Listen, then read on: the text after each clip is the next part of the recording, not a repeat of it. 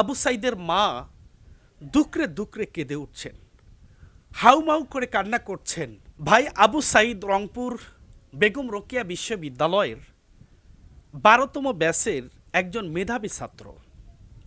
ইংরেজি ডিপার্টমেন্টের একজন মেধাবী ছাত্র, যেই ছাত্রের পরিবারটা আসলে খুব একটা সচ্ছল পরিবারও নয়। যার পরিবারটা হত দরিদ্র এরকম বলা যেতে পারে। পিতা, মাতা, ভাই, বোন, আত্মীয়, স্বজন, বহুত কষ্ট করে।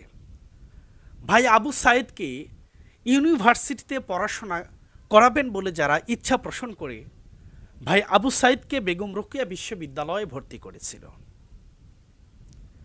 বেগম রোকেয়া বিশ্ববিদ্যালয়ের বারোতম ব্যাসের ছাত্র ভাই আবু সাইদ কোঠা সংস্কার আন্দোলনের সমন্বয়কের দায়িত্ব পালনরত অবস্থায় তিনি তার বুকটাকে প্রশাসনের গুলির সামনে পেতে দিয়েছিলেন। এখন দেখতে পাচ্ছি ভাই আবু সাইদের মা এবং তার বাবা সেই রংপুরে আবু সাইদ চত্বরের পাশে যখনই যাচ্ছে এবং আবু সাইদ চত্বর লেখা এই সাইনবোর্ডটি দেখ, যখনই দেখতে পাচ্ছেন, ভাই আবু সাইদের মা দুকরে দুকরে কেঁদে উঠছেন। হাউমাউ করে কান্না করছেন ভাই আবু সাইদের মা। এরকম না জানি আর কত শত শত হাজার হাজার ভাইদের নির্মমভাবে হত্যা করা হয়েছে। জানি না আর কত মায়ের বুক খালি হয়েছে। যার সঠিক পরিসংখ্যান এখন পর্যন্ত কোনো মিডিয়াতে প্রকাশ করা হয়নি। জানি না আর কত বাবা তার সন্তানের লাশ কাঁধে করে নিয়ে দাফন করেছেন।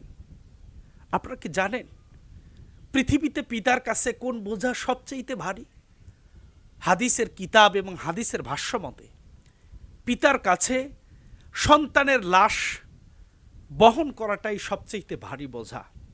একজন পিতা জীবিত থাকল, অথচ তার সন্তান ফুটফুটে তাগরা যুবক এই সন্তানের বুকে গুলি চালিয়ে নৃশংসভাবে হত্যা করল এক শ্রেণির মানুষ।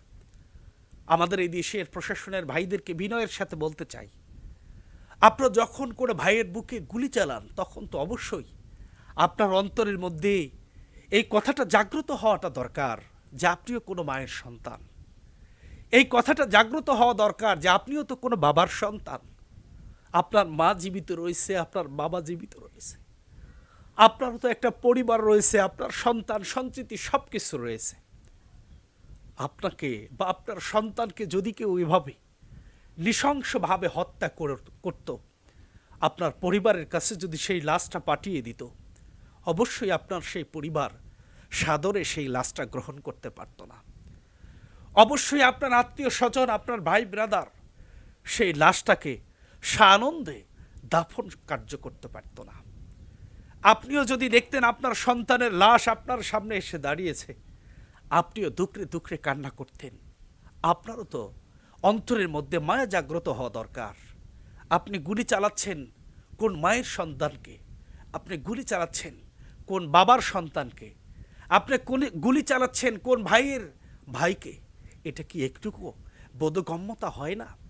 একটুকু কি অন্তরের মধ্যে মধ্যে জাগ্রত হয় না?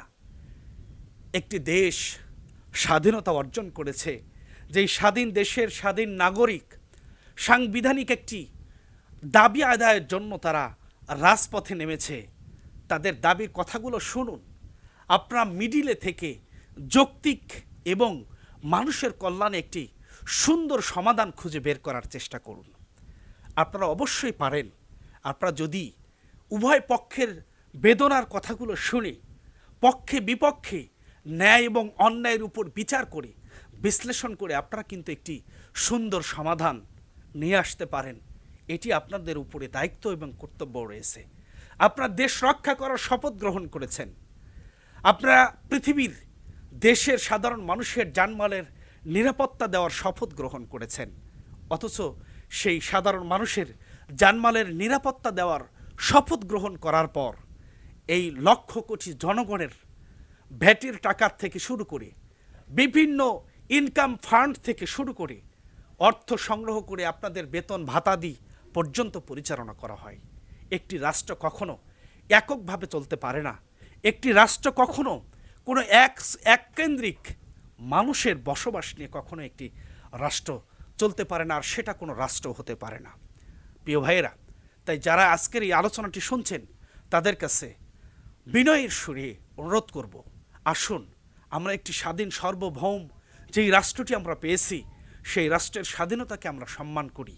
সেই রাষ্ট্রের স্বাধীনতাকে সম্মান করে, মহান রাব্বে কারিমের ভয় আমাদের অন্তরের মধ্যে জাগ্রত করে, একমাত্র আল্লাহ সুবাহানুয়া তালার গোলামি এবং দাসত্ব করার প্রত্যয় নিয়ে আমরা আমাদের প্রত্যেকের দায়িত্ব এবং কর্তব্যকে যথাযোগ্য মর্যাদায় আমরা পালন করি। আল্লাহ রব্বুল আলমিন যেন সেই তৌফিক দান করেন। অমা তৌফিক ইল্লা বিল্লাহ। আসসালামু আলাইকুম ও রহমতুল্লাহ।